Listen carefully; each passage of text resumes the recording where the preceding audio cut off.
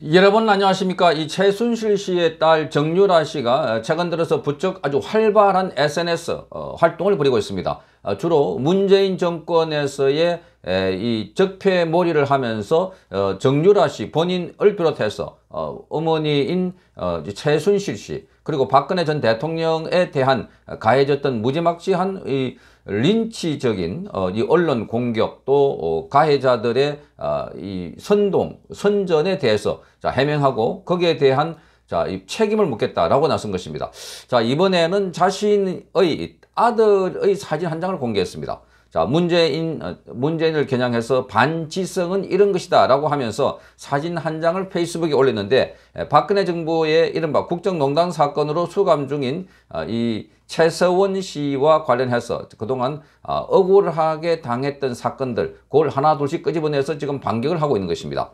자, 이 정유라 씨가 공유한 사진은 2017년 당시에 인천국제공항으로 입국하는 자신의 두 살 아들을 언론이 촬영한 장면입니다.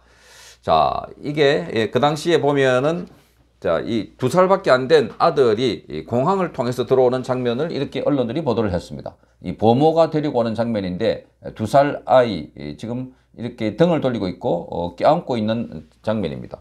자, 이 사진을 보면 좀 이렇게 뭔가 이 장난감 같은 것을 쥐고 있는 어린 아이가 아, 보모에 의해서 데리고 오고 있는 장면. 이게 이제 어린 아이가 들어오고 있는데 카메라 프레쉬를 터뜨리고 자 여기 맞는 인천에 이 뭐수 그 이 경비하는 사람들이 지금 이 두 사람을 이 데리고 가고 있는 자 그런 상황입니다. 경찰에 의해서 자이 묶어 어, 데리고 가고 있는 장면들인데 자 이런 걸 보면 이게 바로 반지성이다 이야기하고 있습니다. 이 문재인이 최근에 자기 집 앞에서 시위를 하고 있는 어, 사람들을 향해서 자 일요일 날 아침에 이 평산마을의 조용한 평화원을 깨고 있는 이런 사람들 이런 사람들이 반지성 행위를 멈춰라 이렇게 말했는데 그것도 반지성이라고 하는 이야기는 윤석열 대통령이 취임사에서 자 문재인 정권 시절에 진행했던 수를 앞세워 가지고 일방적으로 어, 밀어붙이고 폭주했던 그들의 어, 말하자면은 수적 우세를 기반으로 한 일방 통행 어, 이걸 반지성이라고 비판했는데 그걸 그대로 되돌려 가지고 문재인이 썼는데 지금 정유라 씨가 이게 바로 반지성이 아닌가 이렇게 적고 있습니다. 비슷한 시기에 정유라 씨가 이렇게 수갑 차고 있는 장면도 나왔던 것입니다. 자, 뭐 미성년자는 아니었지만 20세 정유라 씨가 이렇게 수갑까지 채이고 언론에 공개가 됐던 이런 사건이다. 그러니까 지금 조민이 이런 장면이 있나? 그러니까 정유라는 조민에 관해서 뭐 조국은 조국을 비롯해서 많은 사람들이 가혹하다 이야기를 하고 있는데 자 그게 가혹한 게 아니라 어, 나와 우리 어머니 박근혜 전 대통령에게 가해졌던 어, 이런 폭력과 같은 상황들 일방적으로 어, 밀어붙이고 사실이 아닌 것을 사실이라 하고 마구 마녀 사냥식으로 보도를 했던 그 행태들 자, 검찰의 포토라인을 씌워가지고 망신을 주고 했던 상황들 자 이게 바로 반지성이 아닌가 이렇게 비판하고 있습니다. 자, 그러면서 반지성은 이런 것이다. 이렇게 말하면서 인권 변호사인 문재인에 대해서 이 반지성에 대해서 어찌 생각하시는지 사주 앞에서 집회하시는 분이 확성기로만 한 번만 물어봐 주시면 안 되나 이렇게 말했습니다. 지금 문재인 집 앞에서 이 확성기로 어, 국민교육 현장들을 포함해서 알려주기도 하고 문재인 시세 5년 동안에 저질러졌던 여러 가지 불법 어, 이 탈법 행위에 대해서 규탄하는 어, 집회를 하고 있는 사람에게 자 국민교육 현장만 알려주지 말고 자이 정유라 아들이 이렇게 두 살배기 아들까지도 언론에 공개를 하고 사진을 찍고 얼마나 놀랐을까. 자, 이 사진, 이게 바로 반지성의 상징이 아닌가. 한번 물어봐 달라는 겁니다. 문재인에게. 자, 내 편만 인권이고 내 편만 국민인가. 사람이 먼저라더니 제 아들은 사람도 아닌가? 라고 했습니다. 자, 이렇게 이 어린 아이에게 카메라를 들이매고 깜짝 놀라게 했던 사건들. 자, 이 문재인 정권의 적폐몰이를 하면서 많은 사람들이 희생됐습니다. 어, 이재수 어, 그 국군 기무사 사령부도 그렇고 사령관도 그렇고 변창훈 검사도 마찬가지인데 변창훈 검사가 이 과거 사건을 수사했다고 그런데 변창훈 검사 아침 일찍 들여닥쳐 가지고 압수수색 했는데 그때의 변창훈 검사 댁에 이 청소년 학생들이 있었는데 학교 가기 전에 들여닥쳐 갖고 압수수색하는 바람에 큰 충격을 받았다고 합니다. 큰 충격. 그러니까 이 뭐가 어 사람이 먼저라고 하는 이 정권에서 애들 앞에 청소년들 앞에 어, 마구 들이닥쳐 가지고 이 소리 저거 자료를 끄집어내는 과정에 그들이 받았을 충격을 생각해 봤나 하는 겁니다. 그러니까 조국에 대해서만 야 우리 조국이 멸문지화를 당했다 이렇게 하고 있는데 그게 아니다는 겁니다. 그, 어, 그 앞에 당했던 이 많은 적폐몰이하는 과정에서 어, 쓰러져 갔던 사람들. 자, 박찬주 육군 대장, 어, 공감병 갑질했다고 해서 막, 어, 이 포성줄에 묶어가지고 육군 별 4개짜리를 그렇게 에, 이 포트라인에 씌우기도 했고, 자, 조양우 대한항공 회장도 마찬가지입니다. 갑질이라고 하면서 거의 매일 9시 뉴스에 톱 뉴스로 중계방송 하듯이 조양호 회장의 일가의 갑질, 뭐 딸 갑질, 아버지 갑질, 어머니 갑질을 골라가서 결국은 어, 이 대한항공의 경영권도 대표이사 자리에서 물러나게 됐고 그래서 저 미국에서 하늘 품고 돌아가시게 됐다. 자 거기에 비하면 조국이 당했던 거 그거 조족지혈이 아닌가? 어, 그렇게 도로 묻고 있는 것 같습니다. 예, 정유라 씨는 17일 또 다른 글을 통해서는 이렇게 예, 말합니다. 어, 제가 나대서 제 아들 인생 더 힘들 것 같다는 분들 자, 제 아들 카메라로 두들겨 맞을 땐 가만히 계시더니 언제부터 걱정을 했다고 가정스럽다. 이렇게 말했습니다. 자, 제가 정신을 못 차렸다. 이렇게 말하는데 당연히 제 정신은 아니다. 지난 6년간 가장 소중한 사람들이 허위 사실에 무너져 내리는 걸 두 눈으로 지켜봤다. 안 미치면 사람인가 이렇게 말했습니다.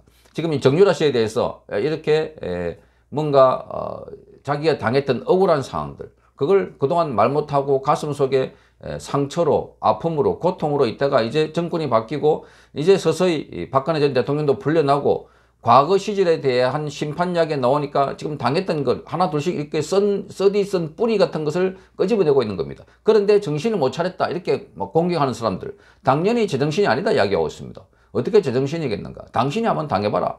음?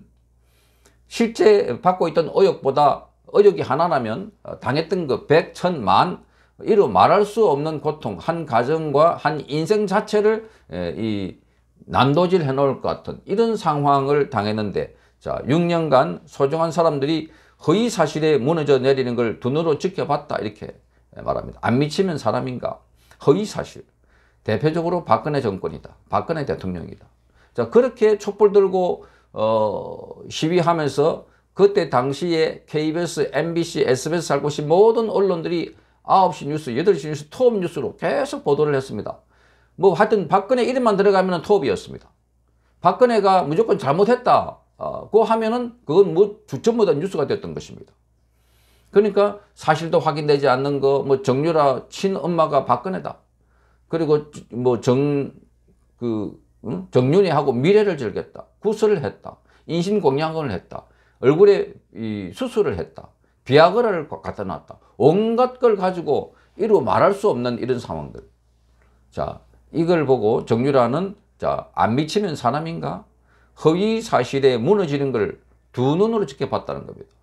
그러니까 그 같은 프레임이 지난번에도 어, 윤석열 대통령 부인 어, 김건희 여사에게 줄리라는 논쟁으로 줄리의 남자들, 줄리의 뭐 이 접대설 온갖 걸 가지고 허위 사실. 자, 이런 보도를 하고 있는데도 대한민국은 아, 이게 표현의 자유라고 가만히 지켜보고 있는 나라다. 그래서 결국은 표현의 자유가 정권을 무너뜨리고 표현의 자유가 사람을 구속시키고 표현의 자유가 악마로 만들고 그래서 많은 사람들에게 돌이킬 수 없는 상처를 주는 게 이게 표현의 자유인가? 자, 그러면서 정유라는 이렇게 말합니다. 어, 제가 가짜뉴스를 퍼뜨렸다고 지적해서 억울하신 의원님 있으면 말 좀 해보라. 제보자한테 들었다고 하면 그만인가? 제보자가 있긴 한가? 라고 말하고 있습니다. 제보자한테 들었는데 이런 게 있더라. 이렇게 말하고 있습니다. 정말 비겁한 사람들입니다. 자, 이 정유라 씨는 특히 안민석을 겨냥해서 허위 사실을 유포한 의원님들, 의원직 내려놓으실 때까지 계속 글 올리고 쫓아다니면서 어, 저런 사람 뽑아도 되느냐 하고 시위나 하겠다 이렇게 말했습니다. 자, 제 비자금 찾아오라는 요구에 자, 안, 안 의원님이 답을 안 하시는데 김동연 후보님이 대답 좀 해주시라.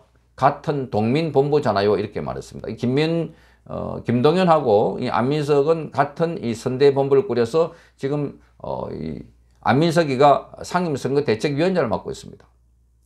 자, 어쨌든 이런 식으로 지금 정유라 씨가 그동안 가슴에 묻어놨고 아프고 고통스러운 이야기를 하나씩 꺼내면서 자, 이게 정유라에게만 이게 가능한가? 정유라면 아무 공격해도 되는 건가? 정유라는 두 살짜리 애도 공격해도 되었고 개인 사생활까지도 괜찮고 모든 걸 공격해도 괜찮고 조민은 안 되고 자, 이게 말이 되는 소리인가?